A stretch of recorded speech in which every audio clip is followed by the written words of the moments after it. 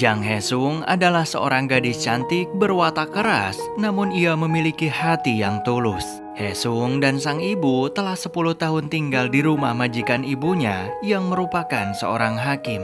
Suatu malam, Sodoyon, putri dari majikan sang ibu, menggelar pesta kembang api bersama teman-temannya. Namun, tak diduga kembang api tersebut malah terkena matanya Doyon. Hesung yang kebetulan berada di tempat kejadian ia pun difitnah sebagai pelakunya. Tentu saja Hesung mencoba membela diri dan mengatakan bahwa ia sama sekali tidak bersalah. Hesung lalu menangis dan meyakinkan sang ibu. Meskipun Hesung memiliki kepribadian yang keras, namun ia tak pernah berniat untuk mencelakai orang lain. 그 정도로 보지지 않다 진짜.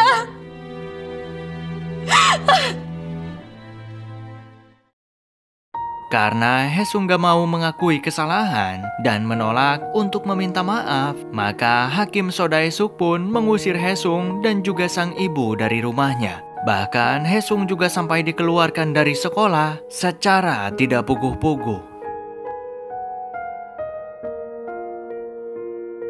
Malamnya, sang ibu datang dan membakar buku-buku serta uang pesangon yang diberikan oleh Hakim Sodaesuk. Sang ibu tak terima jika Hesung putrinya harus difitnah dan dikeluarkan dari sekolah dengan cara yang tidak adil. Sebagai seorang ibu, beliau tahu betul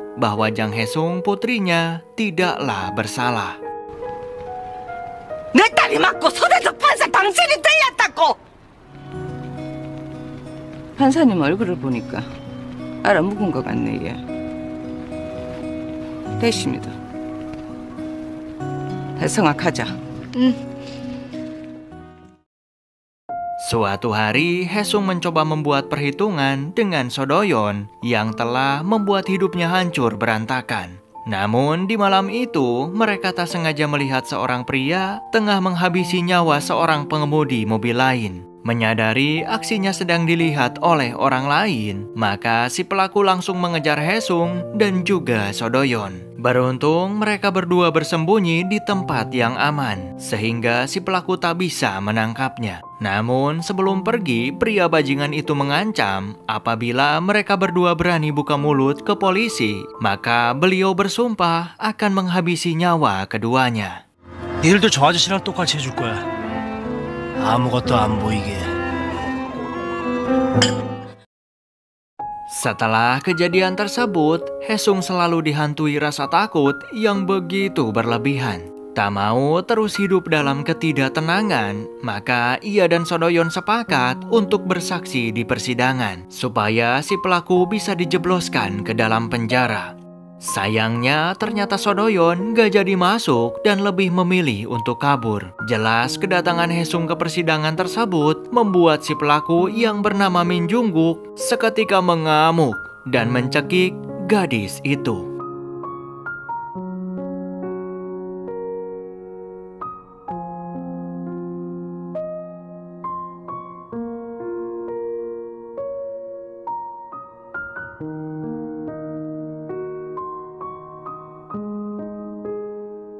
Esok harinya, Pak Suha mengucapkan terima kasih karena Hesung telah membantu menghukum si pelaku yang telah membunuh almarhum ayahnya.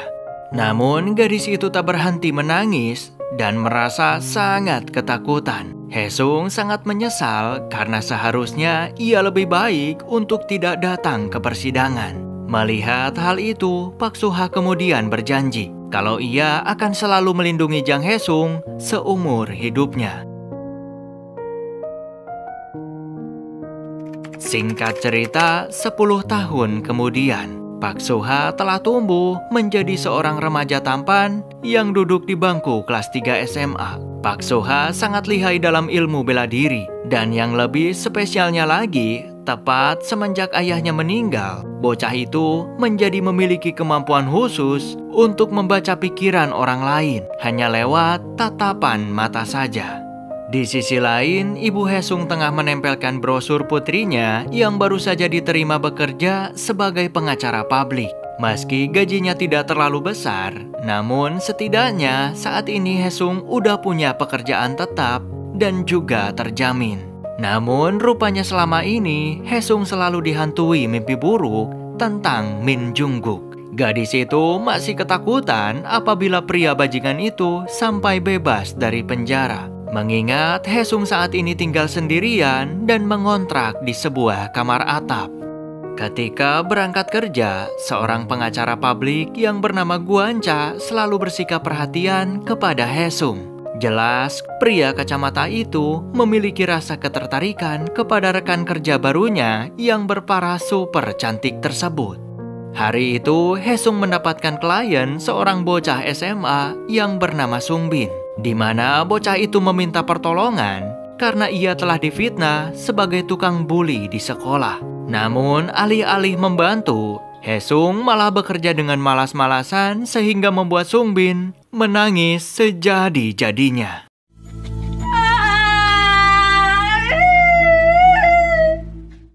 Ketika pulang kerja, rupanya Pak Suha telah menunggu Hesung di luar. Usai melakukan pencarian selama 10 tahun, akhirnya Pak Suha berhasil menemukan gadis penyelamat hidupnya tersebut.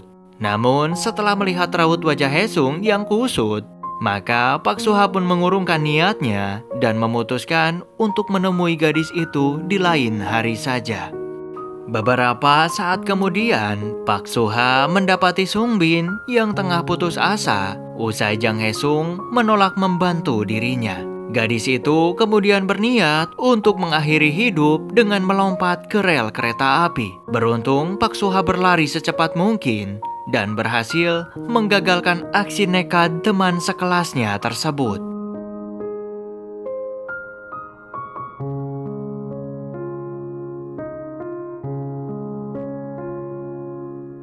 Setelah kejadian itu, Pak Suha lantas menemui Jang Hesung dan menyuruh gadis itu agar mau membuktikan bahwa Sung Bin temannya tidak bersalah. Awalnya Hesung menolak karena ia tak punya cukup bukti. Pak Suha yang kesal, ia pun terpaksa membuktikan kemampuan membaca pikirannya kepada Jang Hesung. 그렇게 노려보면 없던 증... 증거가 하늘에서 뚝 떨어지기라도 한다니? 너 뭐야? 어- 어떻게 하는 거야? 너 내가, 내가 무슨 무슨 말인지 말을 아는 거야? 말도 안 돼. Usai berpikir cukup lama, akhirnya Hesung membantu Sung Bin mati-matian di persidangan. Yang kebetulan jaksa penuntut umumnya adalah Sodoyon. 공소 사실을 전부 부인합니다. 피고인은 무죄를 주장합니다. Suatu hari, Hesung dicegat oleh gerombolan bocah SMA. Saat itu, Hesung mencoba berlari sekencang mungkin untuk kabur. Beruntung, tiba-tiba Pak Suha datang yang sontak membuat para gerombolan bocah tolol itu pergi ketakutan.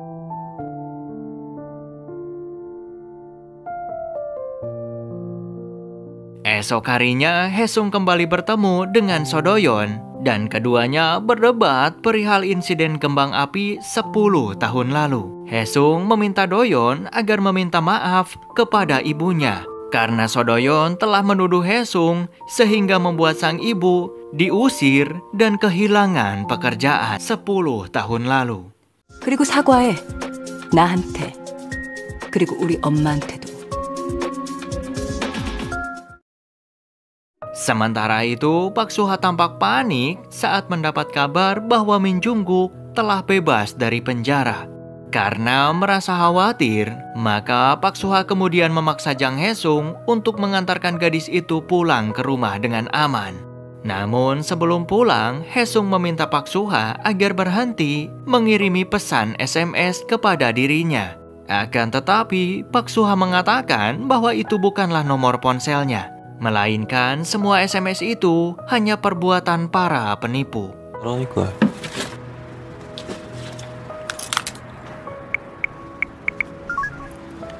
맞지?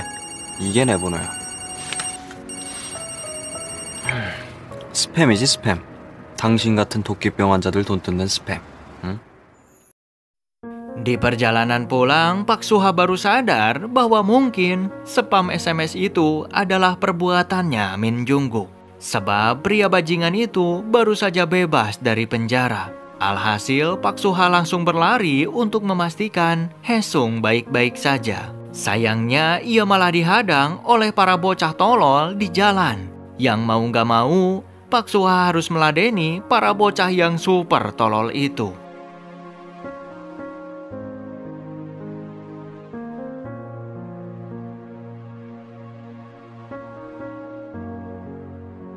Ketika Pak Suha tiba di rumah, ia mendapati Hesung tengah ketakutan karena mendengar suara ponsel berdering. Dan iya, ternyata seseorang telah masuk ke dalam rumah Hesung dan meninggalkan ponsel tersebut. Pak Suha langsung melaporkan kejadian itu ke pihak yang berwajib karena ia sangat yakin bahwa besar kemungkinan pemilik ponsel itu adalah Min Jungguk. Setelah keadaan dipastikan aman, tiba-tiba Pak Suha jatuh pingsan akibat terlalu kelelahan.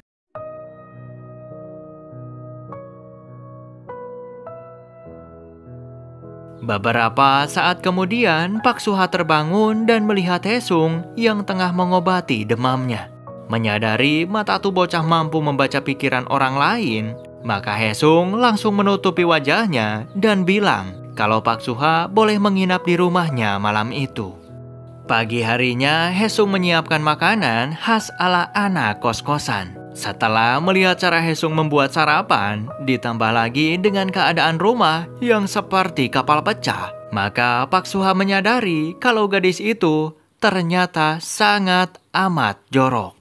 세상 여자 99%가 아침에 이 머리에 이 얼굴이야. Usai mencari ke sana kemari, akhirnya Pak Suha menemukan Min Jungguk sedang membagikan makanan di sebuah acara amal. Merasa penasaran, maka Pak Suha diam-diam ikut bergabung dan menggunakan nama samaran supaya pria itu tidak curiga. Namun, tak perlu waktu lama, Min Jungguk pun menyadari kalau bocah yang baru saja bergabung di acara amal itu adalah Pak Suha, seorang bocah dari pria yang ia habisi 10 tahun lalu.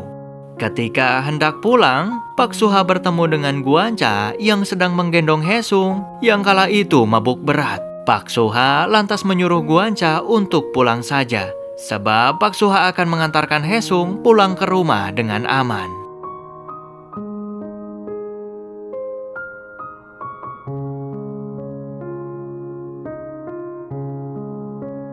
Suatu malam, Pak Suha berinisiatif untuk memperbaiki kunci pintu rumah Hesung yang rusak. Melihat kelakuan tuh bocah yang aneh, maka Hesung menyuruhnya agar pulang dan tidak perlu datang lagi ke sana. Namun, tak lama kemudian, Min Jungguk mengajak Pak Suha untuk bertemu di suatu tempat. Menyadari kemampuan Pak Suha yang bisa membaca pikiran orang lain, maka Min Jungguk mencoba memancing emosi Pak Suha dengan mengatakan bahwa ia akan menghabisi Jang Hesung. 이번에도 네가 아니고 딴 쪽이야? Mendengar rencana busuk pria itu, tentu saja Pak Suha tak bisa menahan diri dan langsung menghajar pria bajingan tersebut.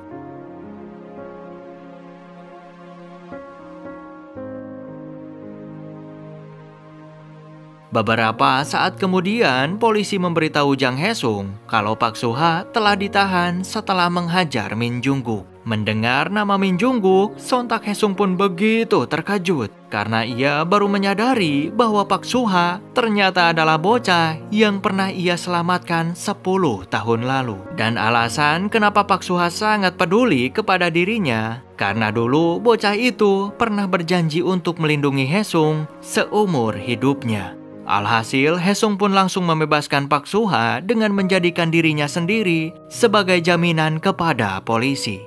Petugas kemudian mengantarkan mereka berdua untuk pulang. Karena Hesung mengaku kepada polisi sebagai kakaknya Pak Suha, maka ia mau tak mau harus tinggal berdua dengan tuh bocah untuk sementara waktu. Hesung juga meminta maaf karena ia sama sekali tak bisa mengenali Pak Suha. Sebab terakhir kali mereka bertemu yaitu 10 tahun lalu, yang mana waktu itu Pak Suha masih bocah ingusan. Esok harinya, Pak Suha mengajarkan beberapa gerakan bela diri kepada Hesung, sebab ia takut jika Min Jungguk muncul dengan tiba-tiba. Tak hanya itu, Pak Suha juga memasang aplikasi pelacak ponsel supaya ia bisa memantau keberadaan Jang Hesung dari kejauhan. Hari demi hari, keduanya pun semakin akrab hingga tibalah suatu malam Pak Suha tak sengaja mendapati Guanca sedang mengantarkan Hesung pulang. Ya, untuk pertama kalinya ia merasakan cemburu dan tak terima melihat Jang Hesung didekati oleh pria lain.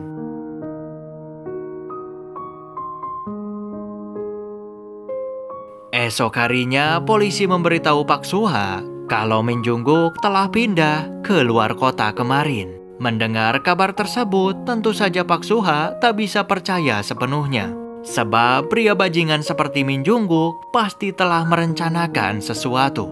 Dan ya, ternyata pria bajingan itu saat ini tengah melamar kerja di warteg milik ibunya Jang Hesung secara diam-diam. Jelas pria itu tampak berniat untuk melakukan sesuatu yang buruk di sana. Sayangnya, sang ibu sama sekali tidak menyadari kalau pekerja barunya tersebut adalah seorang penjahat. Dan benar saja, tak lama setelah itu, Min Jungguk lalu memberitahu Pak Suha bahwa sesuatu yang buruk akan segera terjadi.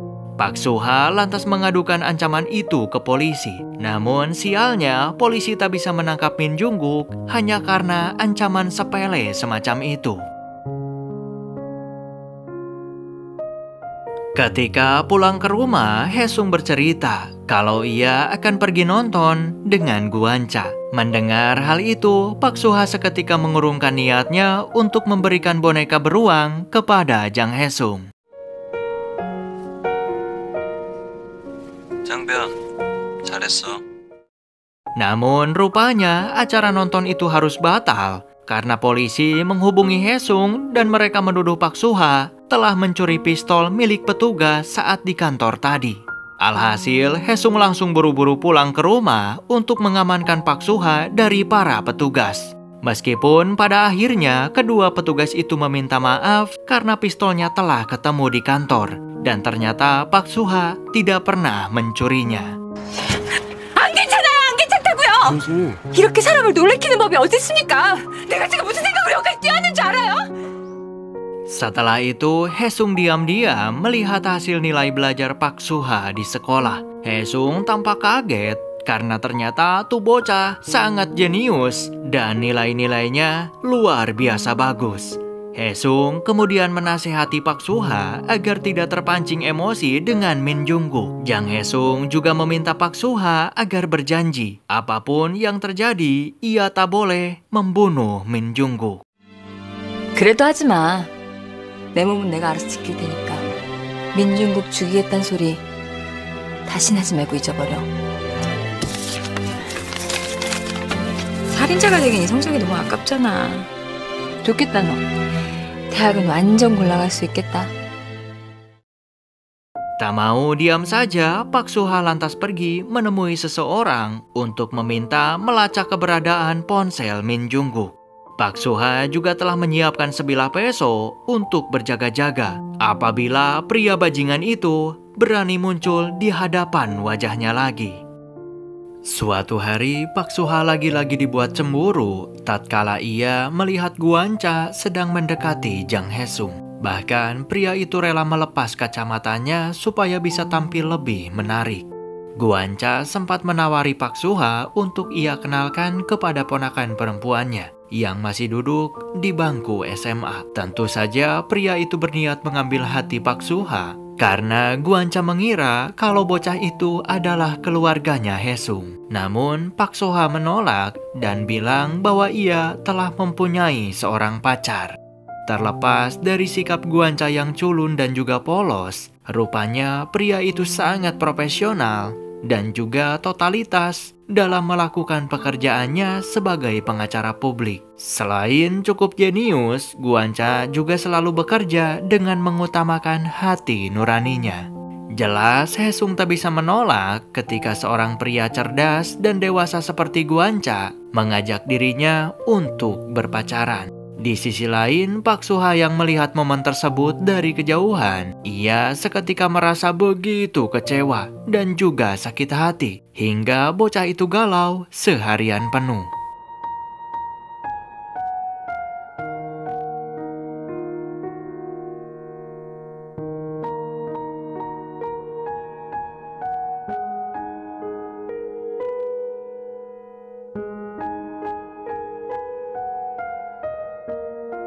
Malamnya, sang ibu menelpon Hesung dan meminta putrinya tersebut agar melupakan balas dendam serta selalu memaafkan kesalahan orang lain.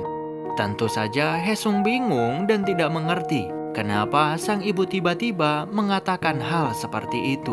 Ya, ternyata saat itu sang ibu tengah diancam oleh Min Jungguk. Beberapa saat kemudian, Pak Suha begitu kaget saat ia baru mengetahui kalau ternyata posisi ponsel Min Jungguk sekarang berada di alamat yang sama dengan warteg ibunya Jang Hesung. Suasana semakin buruk tatkala polisi memberitahu mereka kalau warteg ibunya Hesung telah mengalami kebakaran. Hesung jatuh pingsan ketika mendapati kenyataan di mana sang ibu telah meninggal dunia. Sementara Min Jungguk ditetapkan sebagai tersangka karena menjadi satu-satunya orang yang berada di TKP. Meskipun pria itu berpura-pura menggendong keluar ibunya Hesung di saat kejadian. Jelas perbuatan Min Jungguk tersebut membuat Pak Suha begitu emosi karena pria bajingan itu masih juga berperilaku yang sama seperti iblis layaknya 10 tahun lalu. Tentu saja kepergian sang ibu meninggalkan luka yang begitu mendalam bagi Jang Hesung.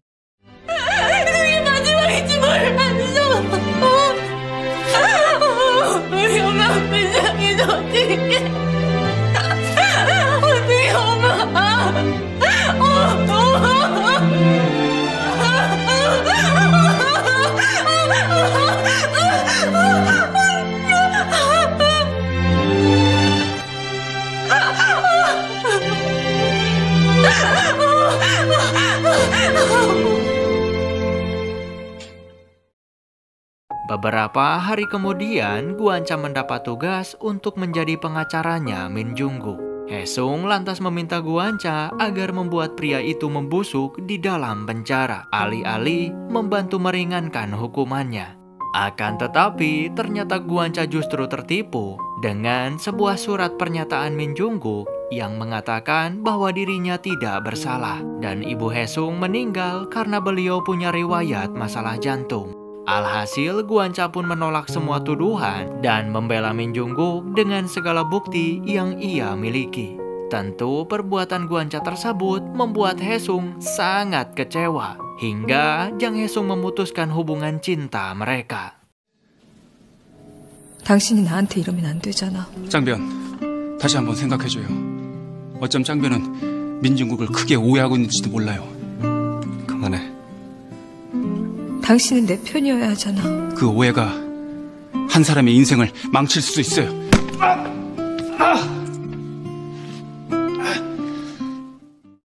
Tak mau menyerah begitu aja, Hesung kemudian pergi menemui Sodoyon. Ia bahkan rela berlutut dan memohon-mohon kepada Doyon agar menghukumin Jungguk seberat-beratnya di persidangan nanti. Demi keadilan untuk sang ibu, Hesung juga bersedia meminta maaf perihal kejadian kembang api 10 tahun lalu. Meskipun Hesung bukanlah pelaku yang sebenarnya, namun sayangnya bukti-bukti dan juga saksi yang dibawa oleh Guanca terlalu kuat untuk bisa membuktikan kalau Min Jungguk tidak bersalah. Terlepas dari rasa cintanya yang begitu besar kepada Hesung, Guanca tetap profesional dan totalitas dalam melakukan pekerjaannya. Merasa dirinya berada di atas angin di sidang kedua tersebut, maka Min Jungguk sangat optimis kalau ia pasti akan dibebaskan oleh hakim di persidangan selanjutnya.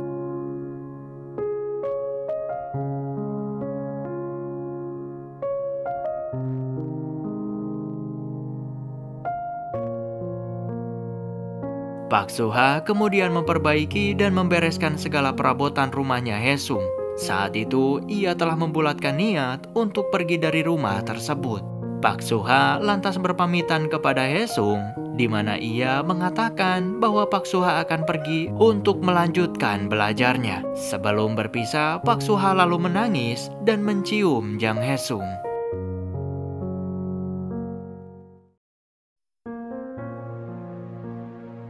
Ternyata Pak Suha telah mengajak Min Jungguk untuk bertemu dan berduel sampai mati. Ketika nyawa Min Jungguk sedang terancam, tiba-tiba Hesung muncul dan menghalangi Pak Suha. Alhasil perut gadis itu pun mengalami luka yang sangat serius. Sementara Min Jungguk, si pria bajingan itu, berhasil kabur.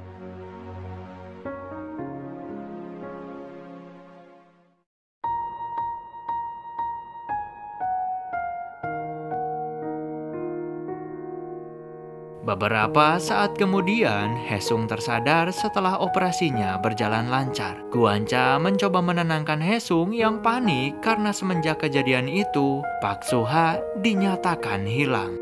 Usai melihat kelakuan Min Jungguk yang sangat baragajul, maka Guanca merasa bersalah atas pembelaan yang ia lakukan. Guanca benar-benar menyesal karena telah membantu Min Jungguk bebas saat kasus ibunya Hesung. Pada akhirnya, Guanca memilih untuk mengundurkan diri sebagai pengacara publik karena ia telah membuat kesalahan besar.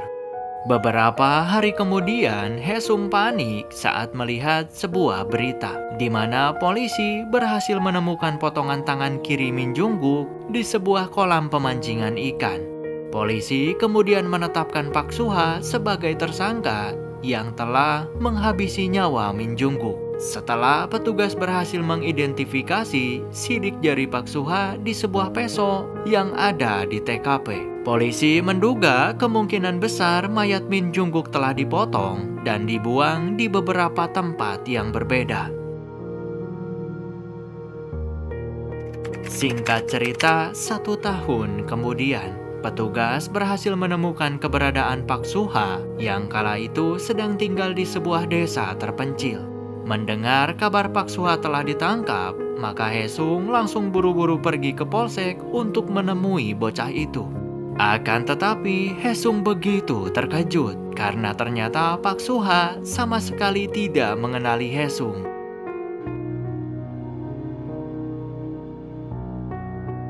Usut punya usut, ternyata Pak Suha telah mengalami hilang ingatan selama satu tahun terakhir.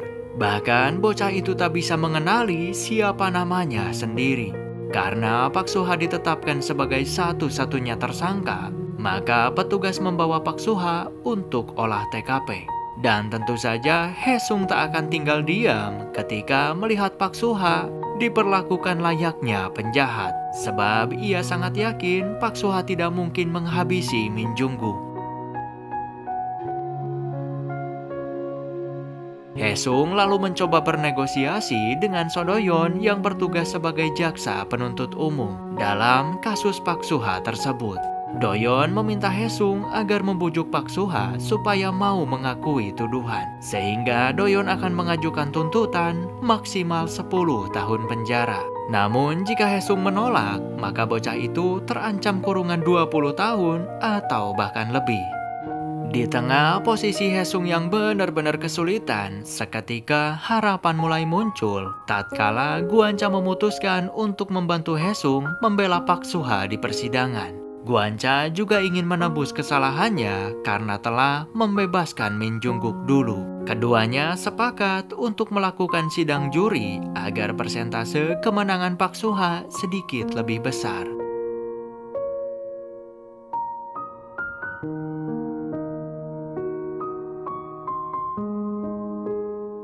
Alhasil, Hesung pun menolak semua tuduhan dan membela Pak Suha habis-habisan.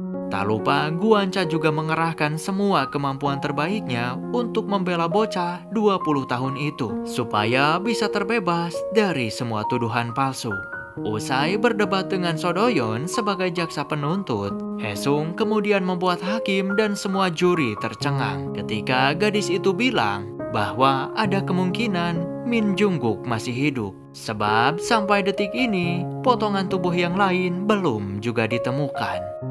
Tak hanya itu, Guanca juga mendatangkan seorang saksi dengan kasus yang serupa, di mana modus tangan kiri tersebut memang telah sering terjadi, dan bukan tidak mungkin Min Jungguk juga melakukan tipuan yang sama untuk bisa mengelabui para petugas kepolisian, sekaligus menjebloskan Pak Suha ke dalam penjara. Sebab bocah itu tak bisa membela diri, mengingat saat ini Pak Suha mengalami hilang ingatan total. Dikarenakan jaksa penuntut tak bisa membuktikan bahwa Pak Suha bersalah, maka hakim pun memutuskan untuk membebaskan Pak Suha.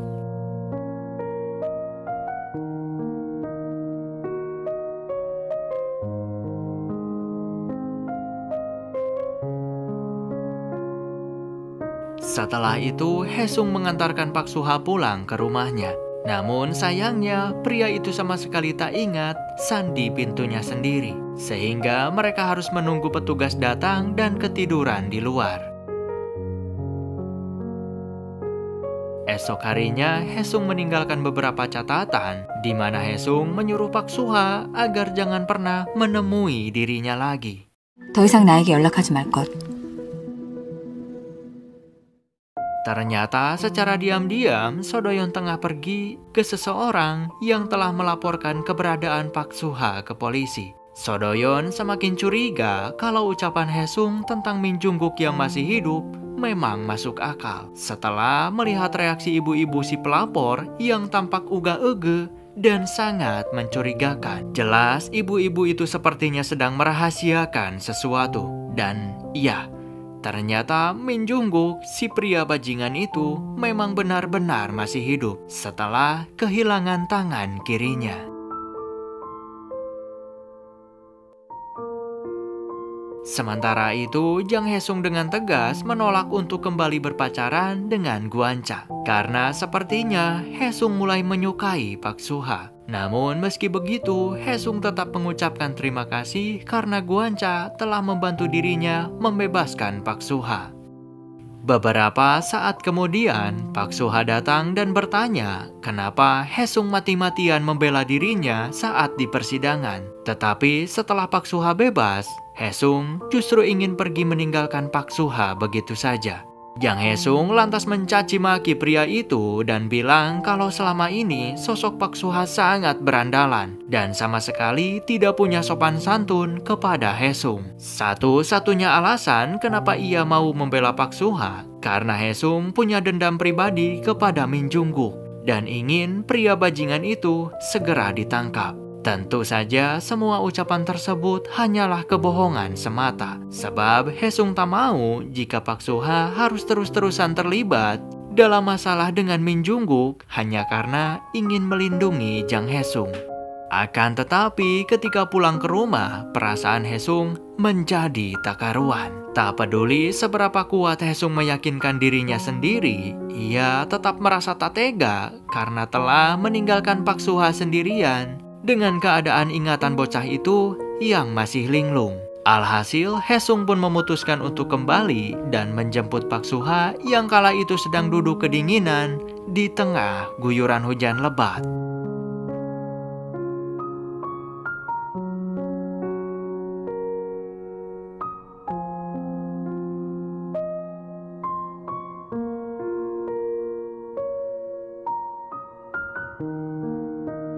Hesung lalu membawa Pak Suha ke rumahnya. Ia mengatakan kalau Pak Suha boleh tinggal di sana hingga ingatannya pulih. Ya, usut punya usut di balik sikapnya yang kasar. Rupanya Hesung merasa deg-deg ser dan berusaha menyembunyikan rasa sukanya kepada bocah itu. Demi menyingkirkan perasaannya yang gak masuk akal itu, Hesung selalu memilih untuk menghindar dari Pak Suha.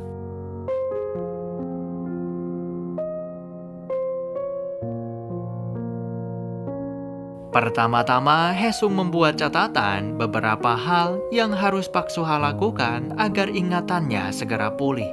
Setelah itu, Pak Suha menemui Guanca untuk mengucapkan terima kasih karena Guanca bersedia menjadi pengacaranya. Namun, Guanca menolak untuk dibayar dengan uang. Pria itu hanya meminta Pak Suha agar secepat mungkin pergi dari rumahnya Jang Hesung. Suatu malam, Pak Suha mendapati Hesung tengah ketiduran di luar dengan keadaan mabuk berat.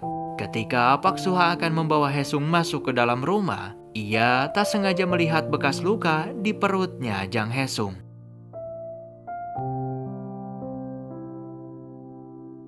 Esok harinya, Pak Suha menanyakan bekas luka itu kepada Hesung.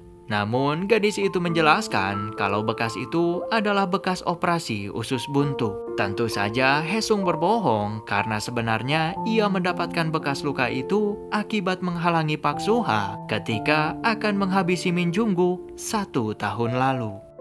Beberapa hari kemudian, polisi mendapati ibu pelapor telah meninggal akibat mengalami kecelakaan. Melihat ada beberapa yang janggal, Sodoyon sangat yakin kalau semua itu adalah perbuatannya Min. Dengan cepat, Sodoyon meminta petugas kepolisian untuk segera mencari Min dan memasukkan nama pria itu sebagai buron. Suatu hari, ingatan Pak Soha tiba-tiba kembali pulih sepenuhnya. Ya, Ternyata di malam kejadian itu, Pak Suha menolak untuk menghabisi Min Junggu.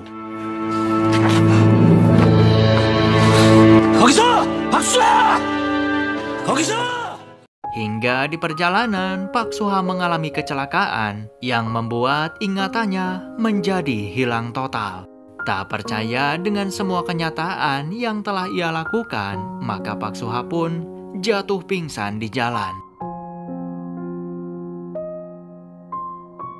Tak lama setelah itu, Pak Suha melihat Yang Hesung yang tampak bahagia karena Min Jungguk ternyata masih hidup. Dan itu artinya Pak Suha ternyata menepati janjinya untuk tidak menghabisi Min Jungguk. Pak Suha lantas memeluk Hesung dari belakang sambil menangis.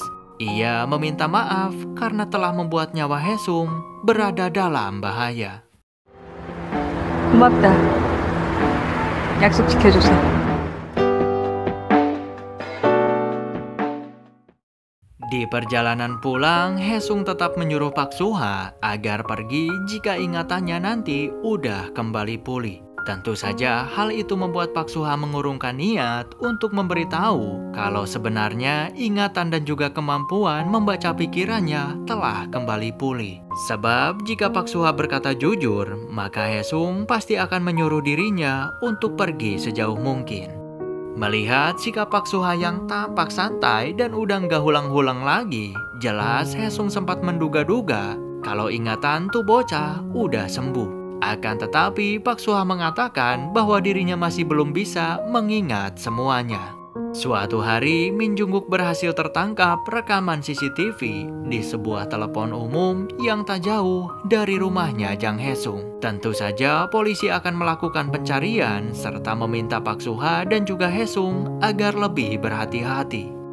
Usai menyadari Min Jungguk berkeliaran di sekitar sana, maka Pak Suha mengemasi semua barang-barang karena rumah Hesung sangat berbahaya. Pak Suha kemudian membawa Hesung untuk tinggal sementara waktu di rumahnya Pak Suha. Sebab itu adalah satu-satunya tempat yang aman dari jangkauan Min Jungguk.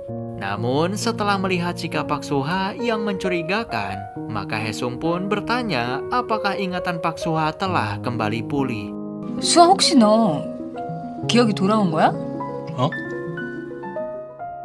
Akan tetapi, lagi-lagi bocah itu berbohong dan mengatakan kalau ingatannya belum pulih. Jelas Hesung pun percaya karena Jang Hesung sangat yakin Pak Suha tidak mungkin berbohong kepada dirinya. Tak tega terus-menerus membohongi Hesung, pada akhirnya Pak Suha pun mengakui bahwa seluruh ingatan dan juga kemampuan membaca pikirannya telah kembali pulih. Tentu saja mendengar kejujuran Pak Suha tersebut, Hesung seketika marah karena Pak Suha telah membohongi dirinya selama ini.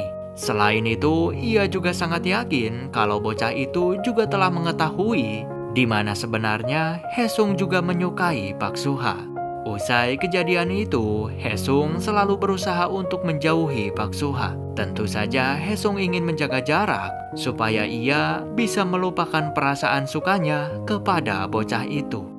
Namun, entah seberapa keras Hesung menjauh, pada akhirnya gadis itu tetap merasa enggak tega jika ia harus terus-terusan mencampakkan Pak Suha. Alhasil, Hesung pun menyerah dan mengajak Pak Suha untuk berpacaran saja.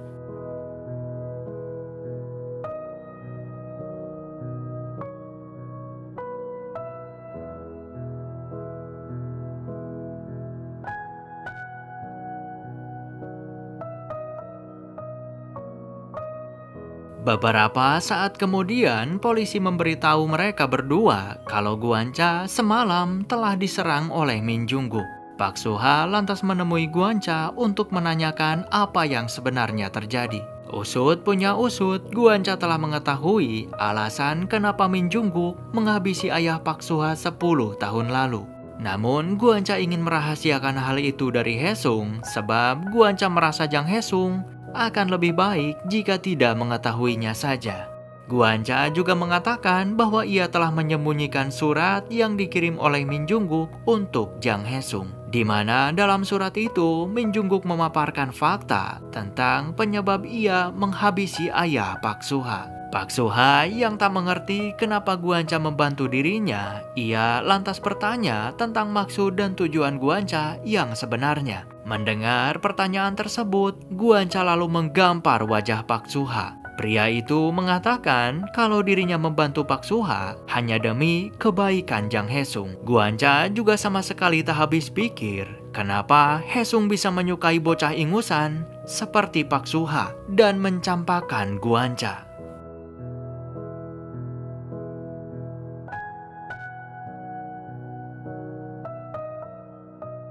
Suatu malam, Pak Suha kembali bermimpi buruk tentang Jang Hesung. Tentu saja ia langsung memeluk Hesung erat-erat karena takut mimpi mengerikan itu menjadi kenyataan. Esok harinya, Pak Suha mencairkan sejumlah uang untuk membelikan cincin yang rencananya akan ia berikan kepada Jang Hesung. Namun, Pak Suha tampak kaget saat Guanca mengatakan kalau ia baru saja memberitahu Hesung tentang masalah almarhum ayah Pak Suha dengan Min di masa lalu. Guanca meminta maaf karena ia terpaksa bercerita setelah Hesung terus memaksanya. Keadaan semakin memburuk tatkala Pak Suha mendapat kabar dari Min kalau pria bajingan itu telah menyekap Jang Hesung di sebuah gedung. Min Jungguk menyuruh Pak Suha datang seorang diri jika Pak Suha ingin nyawa Jang Hesung selamat.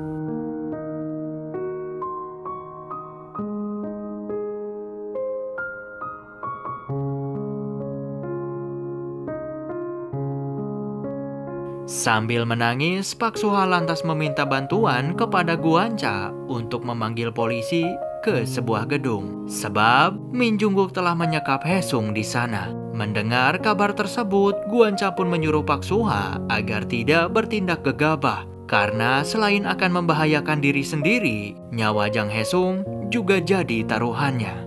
Ya, setibanya di atas gedung, Min Jungguk langsung memberitahu Pak Suha kalau ia baru saja menghabisi Jang Hesung. Pria itu menyuruh Pak Suha untuk menghabisi Min Jungguk saat itu juga. Namun beruntung para petugas dan juga Guanca datang menyelamatkan Hesung serta mengepung Min Jungguk. Usai dirinya terpojok, Min Jungguk kemudian menangis dan terkuaklah fakta kenapa ia menghabisi ayahnya Pak Suha 10 tahun lalu. Dulu istrinya Min Jungguk menderita sakit serius. Setelah berbulan-bulan banting tulang cari uang, Akhirnya, Min Jungguk menyuruh sang dokter untuk segera melakukan transplantasi jantung. Sayangnya, ayah Pak Suha merebut donor jantung itu untuk ibunya Pak Suha. Dan tepat setelah itu, istri Min Jungguk pun meninggal dunia. Min Jungguk lalu mengamuk. Kehilangan istri tercinta membuat Min Jungguk putus asa dan bersumpah akan membalas dendam kepada ayahnya Pak Suha.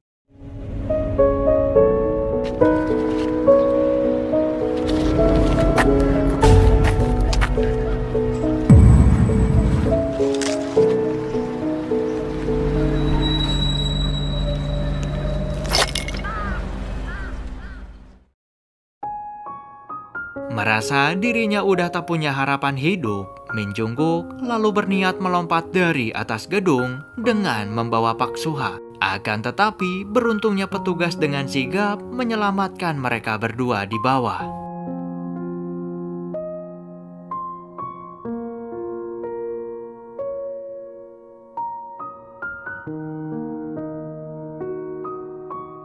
Setelah kejadian itu, Min Jungkook akhirnya divonis hukuman seumur hidup untuk mempertanggungjawabkan semua perbuatannya. Sementara Pak Suha berhasil lolos tes akademi kepolisian. Tentu saja alasan ia mau menjadi polisi karena Pak Suha ingin selalu melindungi Jang Hesung selama-lamanya.